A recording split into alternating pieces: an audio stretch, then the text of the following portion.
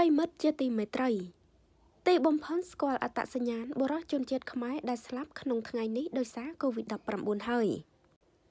តាមពិនគាត់គឺជា DJ Boom ដែលជាសិល្បករមួយរូប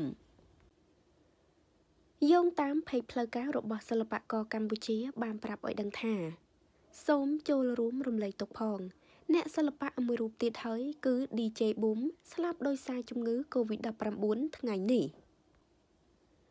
លោកស្រីវិជ្ជបណ្ឌិតយុសម្បានរដ្ឋលេខាធិការក្រសួងសុខាភិបាលបានឲ្យដឹងថា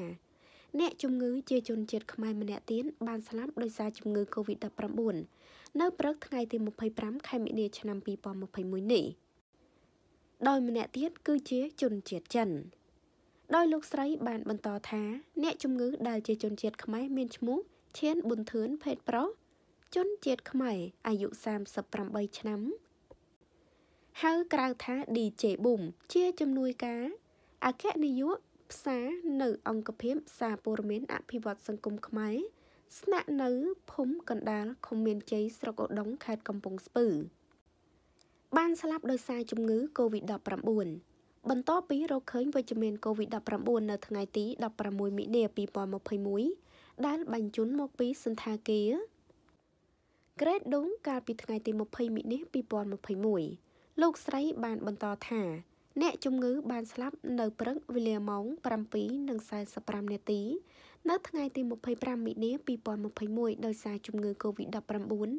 វាយលុកធ្វើឲ្យខ្សោយសួតធ្ងន់ធ្ងរខ្លាំងរលាកសួនសងខាងធ្ងន់ធ្ងរខ្លាំងលើសពីនេះទៀតអ្នកជំងឺមានសភាពធាត់កម្រិត1និងលើឈាមផងដែរលោកស្រីបានបន្តទៀតថា យើងបានរកឃើញគាត់មានរលាកសួតធ្ងន់ធ្ងរខ្លាំងទាំងសងខាង និងមានខ្សោយសួតខ្លាំងរហូតដល់ប្រើម៉ាស៊ីនជំនួយ នៅថ្ងៃទី20ខែមិនិនា2021តែมันអាចសង្គ្រោះបាន ហើយអ្នកជំងឺបានស្លាប់នៅថ្ងៃនេះពិតជាសោកស្ដាយខ្លាំងណាស់សូមចូលរួមរំលែកទុក្ខផង ចានេះគឺជាអត្តសញ្ញាណបុរសជនជាតិខ្មែរដែលបានស្លាប់នៅក្នុងថ្ងៃនេះគួរឲ្យដឹងផងដែរថាថ្ងៃនេះមានអ្នកស្លាប់ដោយសារ COVID-19 ចំនួន2នាក់ដោយម្នាក់គឺជាជនជាតិខ្មែរហើយម្នាក់ទៀតគឺជាជនជាតិចិនដោយបុរសជនជាតិខ្មែរម្នាក់ដែលបានស្លាប់នោះគាត់គឺជាសិល្បករមួយរូបមានឈ្មោះថា DJ Boom គាត់មានជំងឺប្រចាំកាយស្រាំ គឺជំងឺធាត់កម្រិត1និងជំងឺលើសឈាម ហើយបូករួមជាមួយនឹងជំងឺ Covid-19 វាយលុកខ្លាំងស៊ីសួនរបស់គាត់ជាខ្លាំងធ្វើឲ្យគាត់បាត់បង់ជីវិតរយៈពេលលឿនបែបនេះសូមចូលរួមរំលែកទុក្ខដ៏ក្រៀមក្រំចំពោះក្រុមគ្រួសារ